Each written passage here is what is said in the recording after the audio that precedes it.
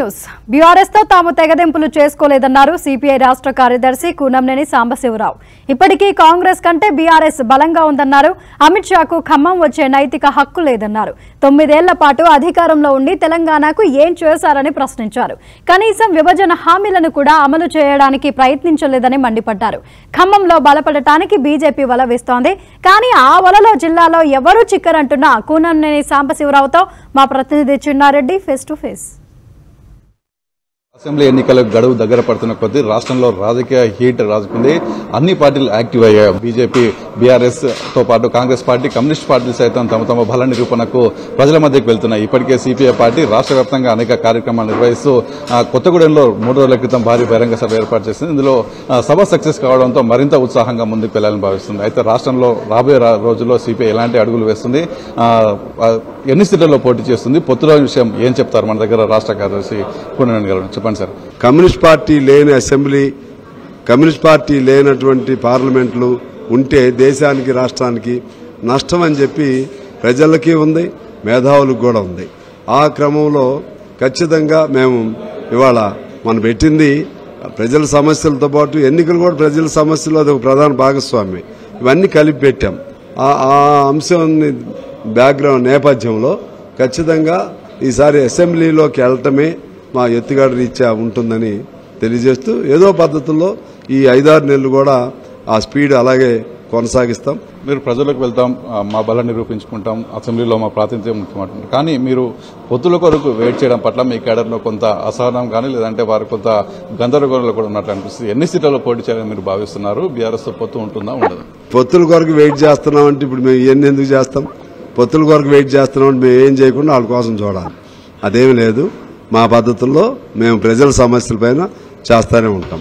ఎన్ని సీట్లు అనేది ముందైతే బలమైన స్థానాలు చాలా ఉన్నాయి. ఆ, ఆ బలమైన స్థానాలు ఒకవేళ పొత్తులు లాంటివి ఉన్నప్పుడు ఇద్దరు కూర్చున్నప్పుడు అక్రాస్ ద టేబుల్ కూర్చున్నప్పుడు పరస్పర చర్చలు జరిగితే ఒకటి ఎక్కువ ఒకటి తక్కువ అనేది ఆ విధమైనటువంటి ఒక అంగీకారానికి వస్తేనే ఇన్ని ఇన్ని స్థానాలని చెప్పగలుగుతాం.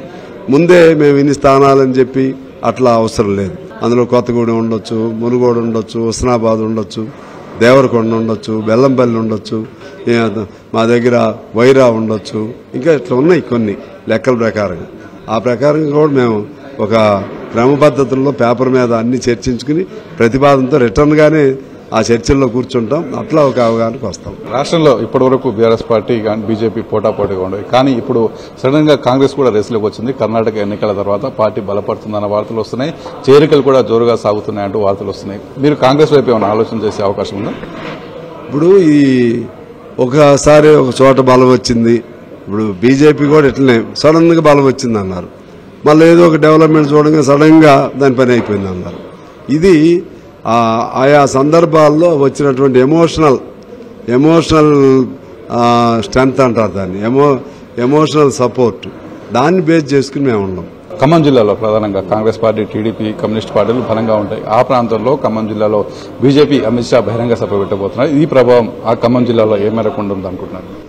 అమిత్ షా తల కింద పెట్టి కాళ్ళు పైకి లేపిన బీజేపీకి ఖమ్మం జిల్లాలో స్థావరమే ఉండదు స్థానమే ఉండదు. అసలు బీజేపీలో చేరదాం అనుకునే వాళ్ళు కూడా పారిపోతున్నారు కదా. రేపు వెళ్తాడు అమిత్ షా. వెళ్ళి ఇదిగో ఈ ఖమ్మం జిల్లాకి నేను చేశానని చెప్పాలి కదా. అదేవిధంగా బొగ్గుగలను సంబంధించినవి ఏం చెప్తావు? ఇతర అంశాలు ఏం చెప్తావు? అన్నీ ఉన్నాయి. ఒక్క పని చేయకుండా ఇప్పటికిప్పుడు వచ్చి ఎన్నికల ముందు వచ్చి వాడు దొరుకుతాడు వీడు దొరుకుతాడని చేపలు పట్టుకోవడానికి వాళ్ళు వేసుకుని ఎత్తుకున్నట్టుగా వస్తే ప్రజలు అంత అమాయకం కాదు. ఖమ్మంలో అమిత్ షా తల కిందకి చేసి కాలు పైకి చేసినా బీజేపీకి బలం పెరిగే అవకాశం లేదని రాబోయే రోజుల్లో ఖచ్చితంగా ఆ, కమ్యూనిస్టు పార్టీల బల నిరూపణ కోసం తమ ప్రయత్నాలు తాము చేస్తామంటూ పునర్ని సమస్యలో చెప్తున్నారు. కెమెరా మహేష్ వచ్చినారెడ్డి టీవీ ఫైవ్ హైదరాబాద్.